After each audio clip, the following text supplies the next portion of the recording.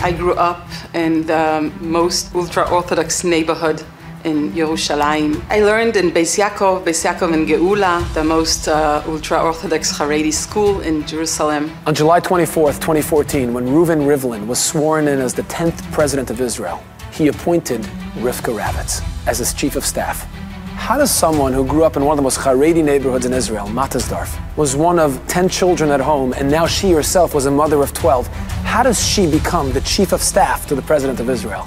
Well, when Rivka was 18 years old, she married Yitzchak Ravitz, who was the son of then Knesset member Avram Ravitz. I was still a student, I was still learning, and he offered me to come and work with him at the afternoons after school. I took the offer and started working at the Knesset at the age of 18 and a half. Two years later, he had to let her go because the government passed a law that didn't allow for Knesset members or high level government officials to hire relatives. When he let her go, Reuven Rivlin, who was also a Knesset member at the time, hired her in his office. For six years, he was uh, appointed to be the Speaker of the Israeli Parliament. I was his chief of uh, staff then. Along those years, there were a lot of elections, primaries, and I ran uh, all of them, also gained the money for them, also was uh, responsible uh, for those campaigns. And then came the most important campaign in his life and probably also in my life. He wanted to be the Israeli president. We worked very hard for a year long, but he won it and he became the Israeli president. And he asked me which job would I like to take in the office, and I chose to be his chief of staff. For the next seven years, she was planning, arranging, and traveling with the President of Israel to all the different countries, meeting the most powerful leaders around the world kings, queens, presidents, and prime ministers. If you would have to count on fingers five of the most important leaders of the world, I'm sure I met them Putin, Merkel, Obama, Trump, Biden. In November of 2015, Rivka was planning one of the most important meetings of President Rivlin.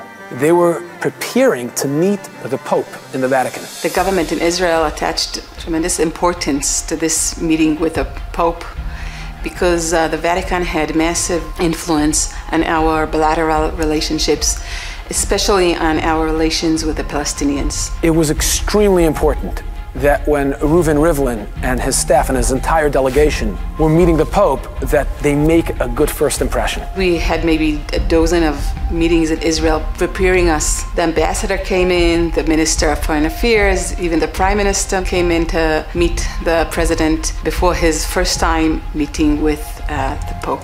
And they kept rehearsing it in their minds making sure they know exactly what to expect and how to act, how to behave, so that everything runs smoothly. And we traveled to Rome. We got to the hotel. We had another meeting now with the special ambassador to the Vatican because there are two countries, separate countries. They basically mapped out the palace. They told them as you pull up to the palace, certain cardinals will be outside greeting you. They'll take you into the palace. You'll go down a staircase. You'll walk through a hallway with many different chambers. When you get to the end of the hallway, you'll walk into a different hallway. When you get to the end of that hallway, you'll enter a room and you'll wait there. The cardinals will leave, and then the Pope will enter through a side door. When the door will be open and we'll see the Pope, we should stand in a line and come into the room one after each other.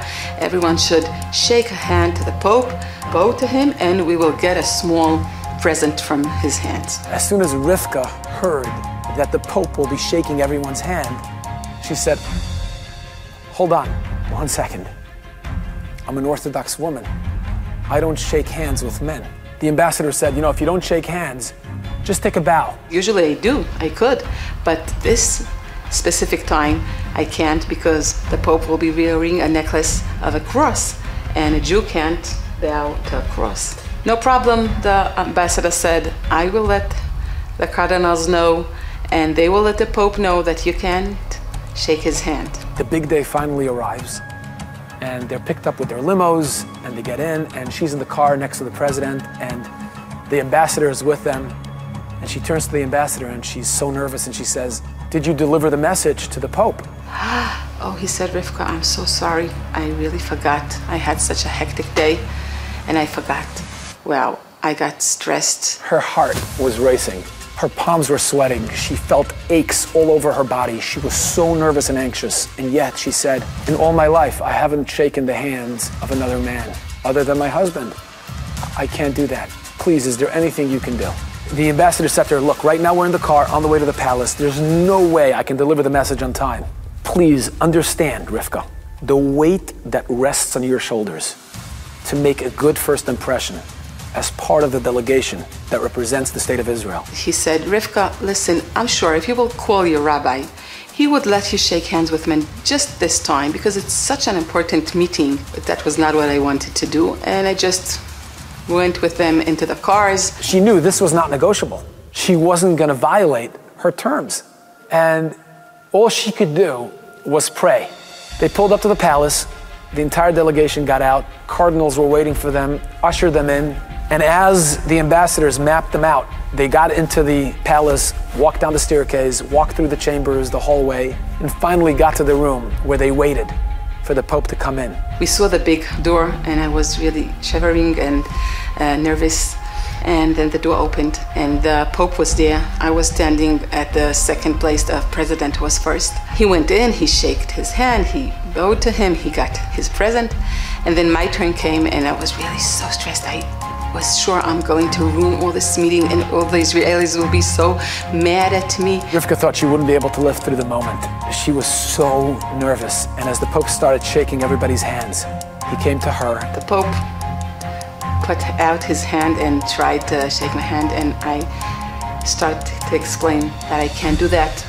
I'm religious, um, I'm ultra Orthodox, and the president was standing next to me and he was telling him about my father in law that was the head of the ultra Orthodox party in the Knesset. And the Pope, even though he couldn't understand the language, he had an interpreter, but he was able to sense the strength and the courage of Rivka Ravitz. And to honor her, the Pope took a bow to her. He himself bowed as he gave me the souvenir. And that moment was memorialized in a photo that went completely viral around the world. The Pope bowing to an Orthodox woman who stood proud and tall of her values. When I came back to Israel, I got hundreds of phone calls. Is that true? What happened? When Rivka was interviewed by so many different journalists and news media outlets, she kept repeating the same line. I think he bowed to me not because my name is Rivka, not because of me being a chief of staff to a president. He was bowing towards me because he honored the fact that I stood up for my values. Through all those years, I had the honor to meet three of the American presidents Obama, Trump, and Biden. On her last visit with Rivlin to the White House, she still remembers being ushered into the Roosevelt room. According to protocol, President Rivlin was supposed to go first by himself into the Oval Room. 15 minutes afterwards, the staff would be coming in and accompanying the rest of the professional meeting. So Rivlin turned to Rivka Ravitz and said to her, Look, it's our last visit. How would you like to join me alone with the President of the United States in the Oval Office? And Rivka Ravitz said, Yes, I'd love to. A few minutes later, President Biden walks into the Roosevelt room and ushers Rivlin into the Oval Office, and Rivlin motions to Rivka Ravitz to come along with him.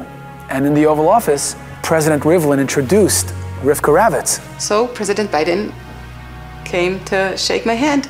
So I took my hands back, and President Rivlin explained to him she can't shake hands. She comes from a very religious community in Israel, and guess how many children she has? So President Biden said, How many? And he said, She's a mother to 12 children.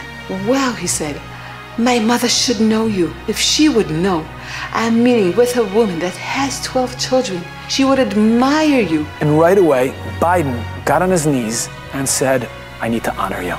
And you can sense the reverence and the awe he had for Rivka Ravitz simply because she was a mother of 12 children. In these modern days, the value of family is not such valuable. And here comes the president, one of the most influential leaders of the world, and still admire a value as a value of family. Adabra neged melachim, to live proudly as a Jew. Every time I felt compelled to stand up for my values and beliefs, I was treated to respect and understanding a great deal of respect and a great deal of understanding.